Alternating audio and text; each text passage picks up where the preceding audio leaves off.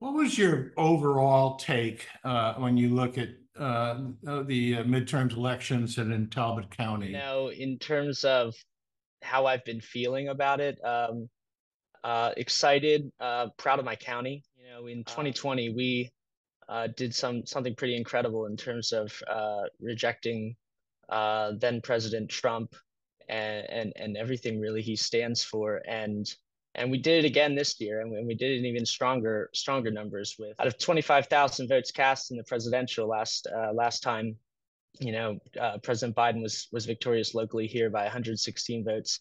Uh, this go around uh, Dan Cox delegate Dan Cox uh, who was of course Trump endorsed um, lost by over 1,100 uh, votes here locally, and and I think that that sends a message. And then on top of that, you know, you can't just be against something; you have to be for something. And from the top of the ticket with with Wes Moore and and Aruna Miller, all the way down to, uh, you know, our county council candidates, and even uh, those nonpartisan board of education candidates. I mean, um, you know, the the people who stepped up are, are friends, neighbors, community leaders people who put their names on the ballots, um, the candidates who stepped up this cycle in particular, uh, gave Talbot County voters just that.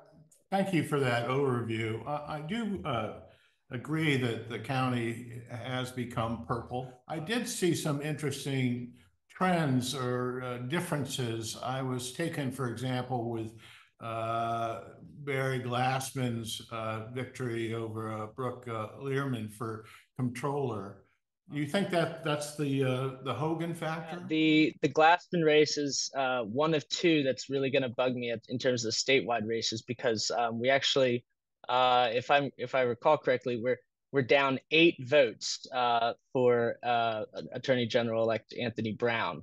I, I don't think we were able to to carry that seat either uh, which is frustrating. and certainly those those eight votes are gonna uh, keep me up at night um, over the next couple of years, I'm sure. But that's a uh, the Glassman race and the uh, the Brown race in particular are two that I really want to get into the weeds in terms of uh, the precinct level data that we're going to get from the state board of elections. Um, but Hogan, Governor Hogan is is incredibly popular here out out on, on the shore and Mm-hmm. Um, that's something that probably uh, kept up a lot of uh, Republican candidates out here. And uh, certainly, I think, you know, I'm not going to uh, wade into, you know, Republican politics, but I didn't see. Uh, I didn't see Glassman out there, uh, you know, riding the coattails of, of Delegate Cox. You know, that degree of separation certainly helped almost in not being a part of the conversation. I wish I had done my homework, but my intuition makes me feel that Heather Mizeur did a lot better than any other recent congressional uh, candidate going against Andy Harris. Uh, she did uh, win the county. Uh, of course, uh, Harris did win re-election. What's your take on uh, the Mizeur candidacy? Our delegate Mizeur was a fantastic candidate and, and is a fantastic person. Um, she represents shore values, uh, and and God, she met so many people out on the campaign trail. I mean, she ran the exact perfect type of race that you can win in in a district that's drawn uh, like ours. You're correct in that she strongly outperformed any other candidate. Uh, I believe she's the only candidate uh, who has been able to keep Andy Harris uh, below 60% uh, uh, district wide. Uh, and then, of course, she won by, I think, north of 1,100 votes here locally in Talbot. And, and you know, I told Heather I would walk into the Chesapeake Bay if she were if she told me to. I mean, she was a fantastic candidate, an inspirational leader. Um, and I do believe the the people of this county, um, or and this district, I, I should say, um, are are at a loss uh, because she will not be representing us in the halls of Congress. The one thing that uh, locally uh, with the state's attorney and, and Joe Coale winning uh, against Ellen Berry, uh, Grunden, uh, any uh, thoughts on that race? I don't. I'm at, I'm at a loss uh, uh, for words there. Ellen has been a long time public servant, uh, a dedicated leader in this community, an advocate for uh, particularly for for children uh, in our community.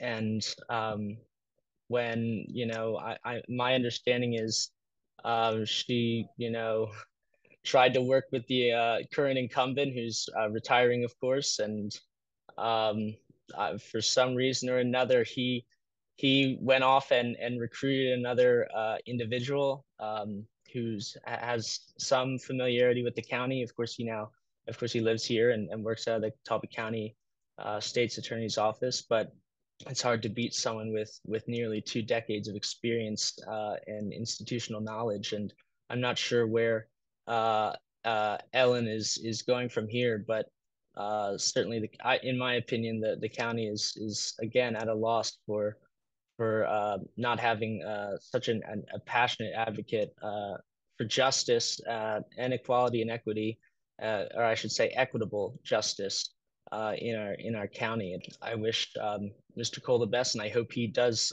the best because the people of our county need a strong leader. I, I maintain that um, I believe Ellen was the was the strong leader that we needed, and Ellen was was nearly neck and neck with with Mr. Coale uh, early voting, and of course Republicans came in election day, and and she came up short, just short, um, though she dominated mail-in ballots. So, I mean, you know, she, was a fantastic candidate.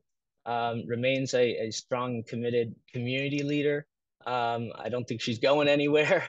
Uh, and and uh, you know, I just wish uh, I wish it was a different result, but I also know that uh, at the end of the day, we need a strong leader in the state's attorney's office. I wish uh, I wish Mr. Coale the best uh, over the next four years. I want to switch to the county council, particularly challenging for those of us uh, in the media who are trying to cover that race because of the way in which uh, the information is presented on the uh, Board of Elections website. So uh, and you went through this with us where the early results, as you were saying, uh, actually showed a significant lead by the Republicans. Uh, and then slowly but surely, uh, the uh, mail-in ballots come in and uh, we have a totally different verdict, what, 10, 12 days later. and maybe for a different program, we can talk about why that delay took place. Um, but in any event, we do have results. You, did gain a seat uh, on the county council, but what were your overall impressions? You know, you, you shouldn't be surprised when I say it. In my opinion, our candidates, um, I think we brought the the best ideas, the most passion, um, and most importantly, the strongest sense of unity uh, to the table. Our, our five uh, stellar candidates. Um, you know, we came up short for the majority, uh, but you know, after one day of of I believe the mail-in ballot count, uh, Pete Lesher, uh, of course, our fantastic incumbent uh, uh, county councilman, he became the the top vote getter in the county, and then from then on, with the additional canvases of, and by canvas I mean count of the mail-in ballots, um, his lead only increased. I think he won by north of 700 votes compared to the second place, uh, you know, uh, mm. county council winner. Um, so that was a huge statement. Uh, I think a profound statement in terms of uh, the direction and in terms of who the who the people of our county see as a leader. Um, and then in terms of Keasha, wow, what a nail biter uh, that was. we, we knew fairly early that it was going to come down to to to Montgomery and, and Keasha with with Montgomery getting I think roughly uh, 24% of the mail-in ballots and, and Keasha getting 64% and and our our trajectory was 12 votes off but um but uh but, but to uh to you know we kept it conservative so we were 12 votes low and turns out she was uh 12 votes higher than we thought she would be so um good problem to have. So one of the most uh, unique aspects of the council race was the interjection of a, uh, in essence, a political action committee, uh, the uh, Talbot Integrity Project, uh, whose exclusive issue was related to uh, the Trappe housing development lakeside. this was a, a well-run kind of uh, campaign, if you will, uh, with lawn signs all over the place and uh, a, good bit of interaction with the uh, candidates about their views on this.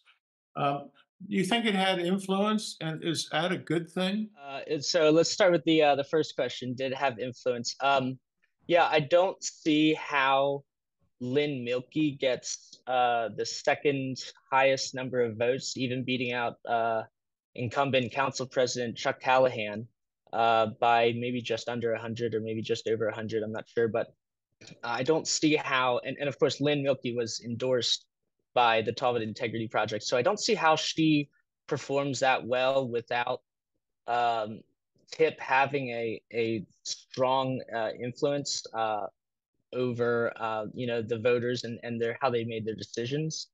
Um, is it a good thing? It it's the right of every uh, you know private uh, citizen in the country to to organize and and mobilize in terms of uh, single issue advocacy. Uh, they're not a political action committee. They're a 501c4.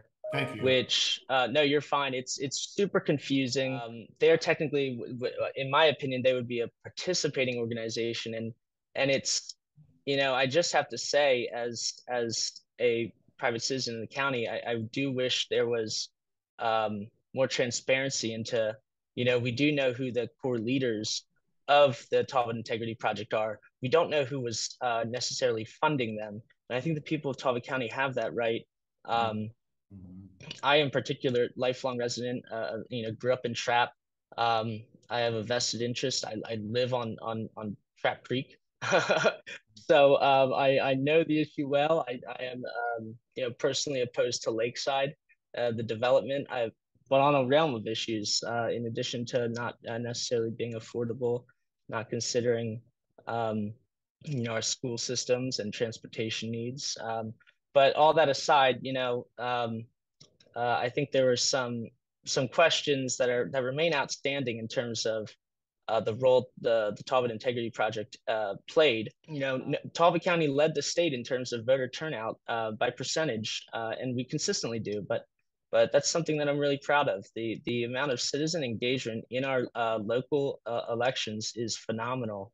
And, and, who am I to to question or condemn anybody uh, who does so, especially when we have board of elections rules and regulations that are or campaign finance rules and regulations that are incredibly difficult to navigate uh, and, and, complex to understand. My so. math shows that uh, I mean, TIP has three candidates that uh, are in favor of a reset. So I guess we're going to start a different journey on that front.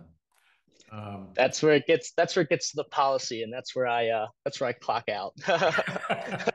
hey, listen, this has been great. Uh, give me a, a few uh, thoughts about uh, 2024. Uh, of course, uh, we will have a congressional race once again. would you be encouraging somebody like Heather Mizeur to run again?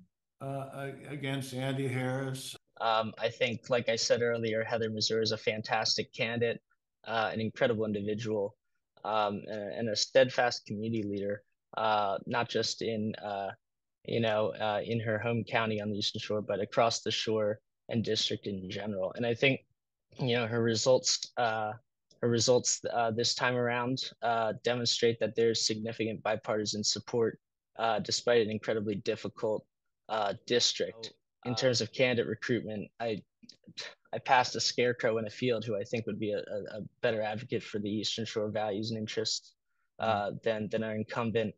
Um, he has passed uh, one piece of legislation in his uh, six years in Congress to rename a post office, and I don't think people talk about that enough. Mm-hmm. Uh, and I and I'm aware that there's a lot of other additional work that that you know uh, members do uh, in addition to to legislation uh, specifically, but but we need a, a, a, strong leader who stands up for shore values, who understands the needs of our farmers, our watermen, our small business owners, the needs of our uh, students and teachers and parents. Um, and I frankly don't believe Andy Harris is that. So in terms of who's stepping up to to take on Congressman Harris in 2024, uh, I'm fired up and ready to go uh, fight hard for anybody willing to to step up and, and selflessly uh, make that commitment. In terms of uh, the presidential race, uh, I believe it's up in the air. Um, you know, this this incredible uh, Democratic turnout, you know, during the 2022 midterms uh, has has put a lot of uh, wind in in uh, President Biden's sails uh, for the 2024 race, and he's uh, you know expressed interest in in running again. Um, of course, uh, former President Trump has also uh, you know um, made that decision as well, and and you know as I was as I said the night he announced, you know we beat him in 2020, we beat his uh, his his uh, hand-picked uh, Maryland boy in, in 2022, and we'll kick his ass again in 2024 if, if it comes to that. But um, you know, I'm not too worried about what the Republicans are doing. I think we've got a, a stellar group of candidates, uh, whether it's uh, President Biden or any of the other uh, fantastic leaders uh, at the federal level, uh, as well as governors across the across the country. I do not want to share Wes Moore, so not not entertaining any talks on uh, Wes Moore, but um, he'll he'll have a lot of work to do in Maryland. But in terms of the presidential, I'm uh, I'm optimistic. You know, Talbot. You know, we're a purple county, but in in you know 2018, uh, we had a voter registration gap of north of uh, 1500. Um, and uh, as of October uh, this this year, you know we've we've closed that gap significantly to to sub 900. Uh, we won for Joe Biden with a voter registration deficit of over 900 registered voters. Uh, and so, you know, we're already trending in the right direction and, and we'll keep going in that direction because, um, you know, again, we've got uh, a lot of momentum, a lot of great energy and, and, you know, the people of Talbot County want passionate advocates uh, fighting for common sense, uh, responsible issues that'll that'll just make their lives better. And that's that's what we're all trying to do. And, Patrick Firth, thanks so much. This was.